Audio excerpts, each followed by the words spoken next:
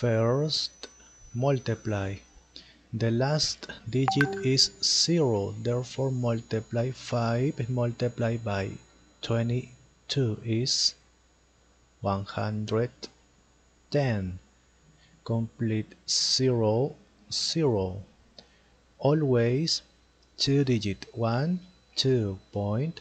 After the point, eliminate 0 from the last after the point. OK. Finish.